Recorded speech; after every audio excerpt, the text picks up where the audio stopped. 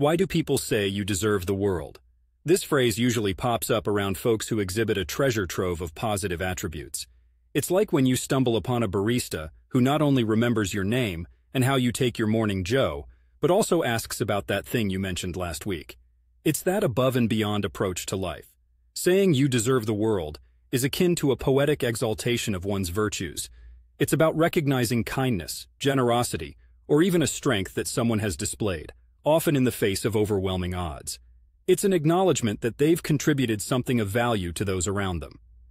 In the depths of Portland, where the rain can cast a long shadow over the mood of the city, you'll notice that small acts of goodness shine incredibly bright.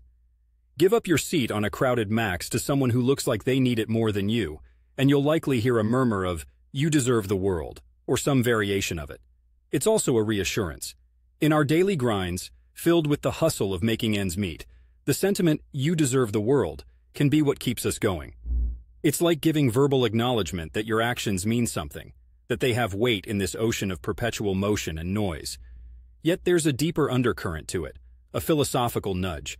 It's a benevolent push, encouraging you to keep being that person, to continue spreading those ripples of positivity, because maybe, just maybe, it might inspire others to do the same.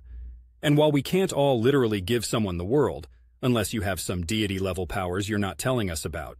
It doesn't stop people from wanting to gift everything within their means.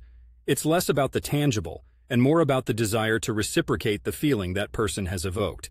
So the next time somebody tosses that you deserve the world compliment in your general direction, take a moment to bask in that recognition. Someone's seen your light. Keep shining.